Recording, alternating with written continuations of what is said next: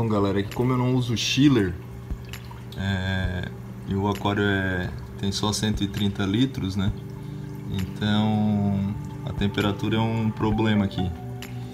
Então o que que eu fiz? Eu ajustei o termostato dele para 28 graus. Então consigo um range aí de 1 grau, 2 aí nos dias mais quentes, chega a 29, às vezes até 30 graus. E nos dias mais frios ele fica mantendo 28 pelo termostato, né?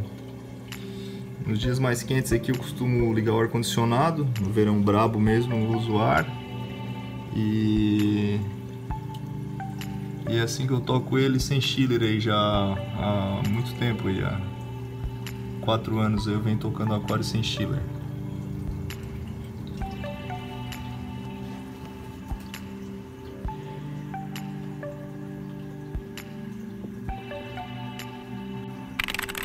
Então galera, a alimentação do, dos corais eu faço semanal, a cada 10 dias. É, eu uso camarão para alimentar.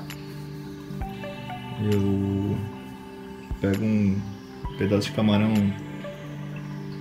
camarão sem casca,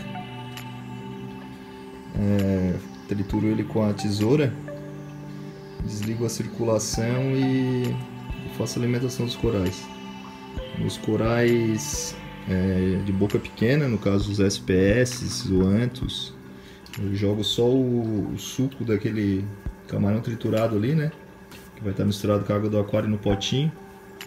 E os outros corais, anêmona, os LPS em si, eu, eu coloco os pedacinhos de camarão ali, que vai dar mais ou menos 1, 2 milímetros.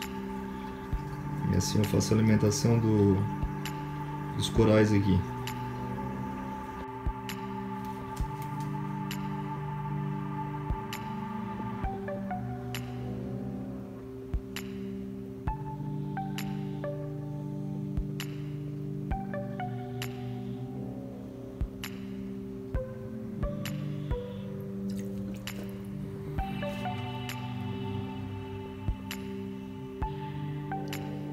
Suco eu jogo nos corais de boca pequena